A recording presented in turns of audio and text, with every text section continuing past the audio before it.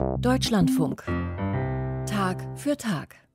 Apropos Spielzeugfiguren, auch von Martin Luther gibt es ja eine Playmobil-Figur.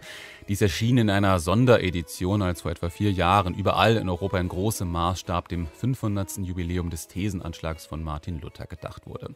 Das Handeln von Luther, das geht natürlich über diesen Thesenanschlag noch weit hinaus und so kann in diesem Jahr gleich nochmal ein 500. Luther-Jubiläum gefeiert werden, und zwar der Auftritt des Reformators auf dem Reichstag zu Worms 1521. Also der berühmte Augenblick, wo Luther da gesagt haben soll, Daher kann und will ich nichts widerrufen, weil wieder das Gewissen etwas zu tun weder sicher noch heilsam ist. Also dieser berühmte Ausspruch, der ist ja sinnbildlich geworden für die Gewissensfreiheit des Menschen bis in die Moderne.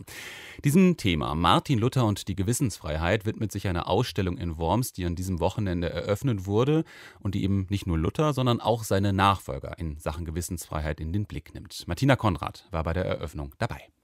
So will ich denn eine einfache Antwort geben.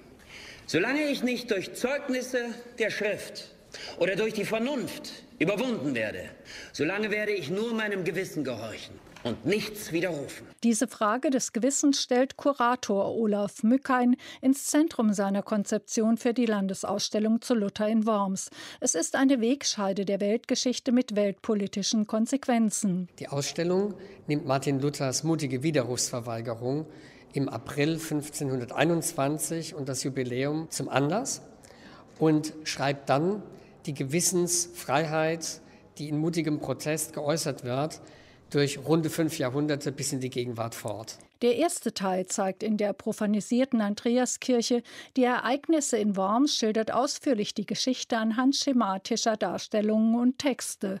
Worms war im Mittelalter eine bedeutende Reichsstadt. Highlights unter den Exponaten sind die handschriftliche Notiz, die sich Martin Luther in der Nacht zwischen dem ersten und zweiten Verhörtag gemacht hat, und ein Bildnis des Kirchenrebellen gemalt von Lukas Kranach dem Älteren. Vorgestellt wird ein facettenreicher Mensch. Hier stehe ich, ich kann nicht anders. Gott helfe mir. Amen. Todas estas universas e infinitas gentes, a todo género crió Dios los más simples, sin maldades. Mit der Entscheidung, einzig und allein seinem Gewissen verantwortlich zu sein und nicht dem Kaiser oder Papst, hat Martin Luther Weltgeschichte geschrieben. Das Grundrecht auf Diskurs des Individuums ist damit verankert. Dank der Erfindung der Druckkunst, die Luther sich zunutze machte, wurde das Ereignis zu einer Medienschlacht zwischen Papstkirche und Reformation. Zahlreiche Bücher und Flugblätter belegen das. Im zweiten Teil der Ausstellung geht es dann um berühmte Persönlichkeiten, die für ihre Überzeugungen und Ideale eingetreten sind, wie Martin Luther King, Nelson Mandela, Sophie Scholl und Georg Büchner. Es sind personifizierte Geschichten David gegen Goliath, von der Aufklärung über die französische Revolution bis zum Thema Sterbehilfe.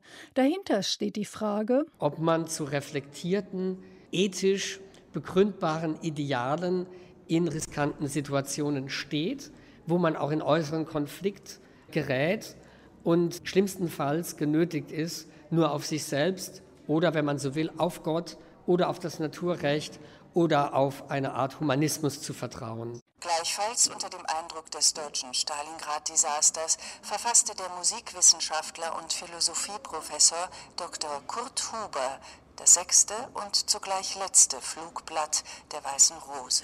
Die Wormser Ausstellung Hier stehe ich, Gewissen und Freiheit 1521 bis 2021 fußt vor allem auf Texten und Schaubildern, die durch zahlreiche Hörbilder und Animationen aber auch sehr lebendig ist. Kompakt schildert sie historische Ereignisse, die uns neu denken lassen, welchen Stellenwert Glaube und Gewissen in den letzten 500 Jahren hatten und bis heute haben. Hier stehe ich, Gewissen und Protest 1521 bis 2021. Der Titel der Ausstellung im Museum der Stadt Worms, die wurde am Wochenende eröffnet und sie geht noch bis zum 30. Dezember.